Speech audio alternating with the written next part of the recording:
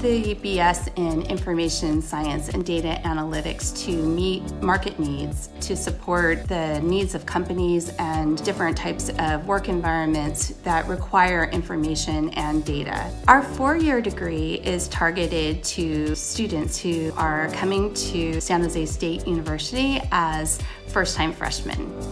For us, it's a three-legged stool.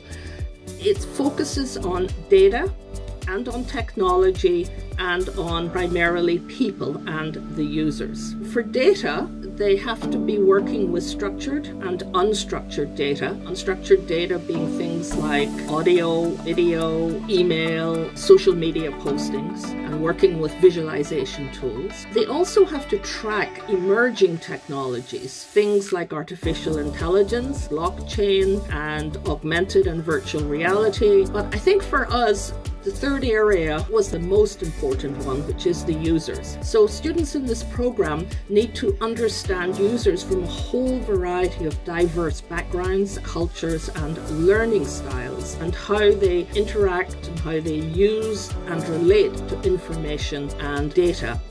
Our students will spend their first 60 units focusing on their lower division general education requirements and then they'll spend their second 60 units focused on their major requirements in the information science and data analytics program. The way our curriculum is developed makes sure that the students possess the technology skills as well as the required soft skills and again the user skills so as to make sure that they are employable. So when you graduate from our program you could apply to any job in the silicon valley. We are here to help you when you apply to the program when you're admitted to the program and all the way till you graduate. We are here to provide you with resources to help you be successful.